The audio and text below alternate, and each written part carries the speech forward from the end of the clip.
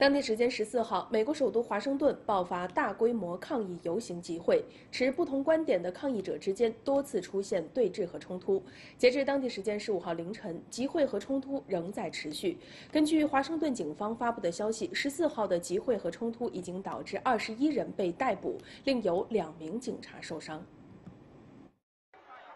十四号。美国现任总统特朗普的支持者在白宫附近、美国国会以及美国最高法院前举行集会，抗议大选结果，其中包括一些极右翼人员。而与此同时，包括反对种族歧视的民众等持不同意见的人员也举行集会，双方之间发生言语和肢体冲突。据悉，被逮捕的二十一人中有五人面临与枪支有关的指控，两人涉嫌袭警。一名向人群投掷烟花的二十六岁青年被控用危险武器实施袭击，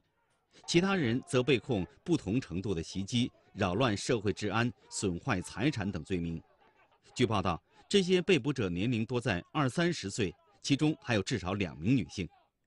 十四号当天，除华盛顿外，在北卡罗来纳州、德克萨斯州、密歇根州等地也有特朗普的支持者举行抗议集会。